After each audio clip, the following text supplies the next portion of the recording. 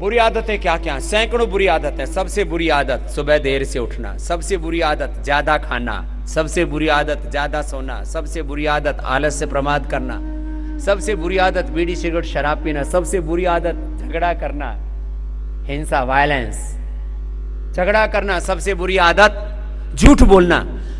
सीधे बैठो और कमाल बातें करते रहो। ये करते रहना। ये करेंगे तो ये सब चीज़ें नहीं होंगी जो अभी बता रहा हूँ। हिंसा करना, झूठ बोलना, चोरी करना। ये चोरी, छोटी चोरी होती है तो बोले चोरी कर ली इसने। ये जेब काट ली, इसने उसके चैन छीन ली, ये छोटे चोर है। फिर बड़े चोर, ऑफिशियल बैठे हुए ऑफिसर्स ऑफिसम ऑफिसम। ऑफिशियल चोरी हो रही है। बोले, ये तो मेरी नौकरी है, इसके अलावा ऊपर से क्या दोगे? ये काम करना है तो इतना, ये काम करना है तो इतना। पाँच दस हज़ार से लेकर के पाँच दस लाख, पाँच दस करोड़ और पाँच सौ हज़ार करोड़ जो बड़े बड़े फिर पहले होता है, बोले ये रिश्वतखोरी। पहले चोरी, फिर रिश्वतखोरी। फिर और ज़्यादा करने लगे तो करप्शन और बड़ा कर दिया।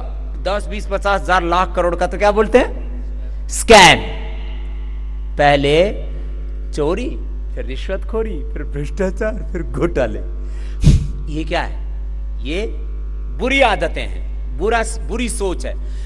जो हमने मेहनत करके नहीं कमाया, उसके ऊपर हमारा अधिकार, ज़ोर से बोलो, जो हमने मेहनत करके नहीं कमाया, उस पर हमारा अधिकार, हमने मेहनत नहीं की, दूसरे ने मेहनत की और उसकी हमने नकल कर ली।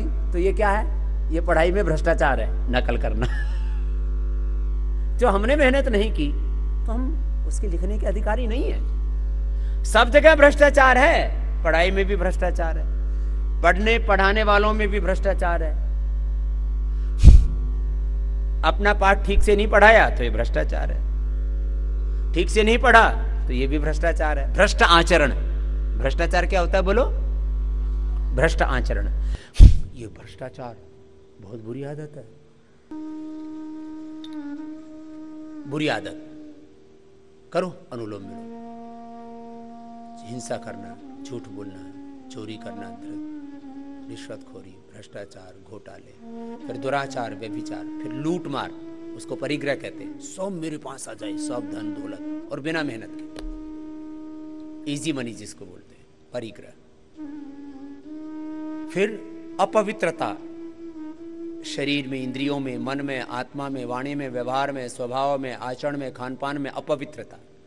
व्यापार में, व्यवहार में, स्वभाव में अपवित्रता। असुचिता। असंतोष। और संघर्ष न करने की भावना, डरपोकपना, विलासिता आराम तलबी आलस्य प्रमाद फिर आत्मविमुखता और नास्तिकता, ये बड़े दश दोष हैं। और अच्छे गुण क्या है? ये तो मैंने बोला, हिंसा, झूठ, बेईमानी आदि। अहिंसा, सत्य, अस्त्य, ब्रह्मचर्य, अपरिग्रह, शौच, संतोष तपस्वा प्रधान ये अच्छे। अच्छे स्वभाव है, ये अच्छी आदतें अच्छे संस्कार हैं। अनुलोम विलोम करो। योग करने से बुरी आदतें, बुरे संस्कार, बुरे भाव, दुर्विचार अनुलोम विलोम करते रहिए। अनुलोम विलोम करो बेटा, चुपचाप नहीं बैठना है। दुर्विचार, दुर्भावना, दुष्कर्म इनसे मुक्त हो जाते हैं। ये बुरी बुरी बातें हैं, बुरी आदतें हैं, बुरे विचार हैं, बुरे संस्कार हैं। अनुलोम विलोम सब करेंगे। कोई चुपचाप नहीं बैठे। योग के समय योग न करना, ये भी बुरी आदत है। पढ़ाई के समय पढ़ाई न करना, ये भी बुरी आदत है। इच्छा ना होने पर भी योग के समय योग करो। योग के समय योग करना बुरी योग ना करना बुरी आदत। सीधे बैठो, करो सब। पढ़ाई के समय पढ़ाई ना करना, काम के समय काम नहीं करना।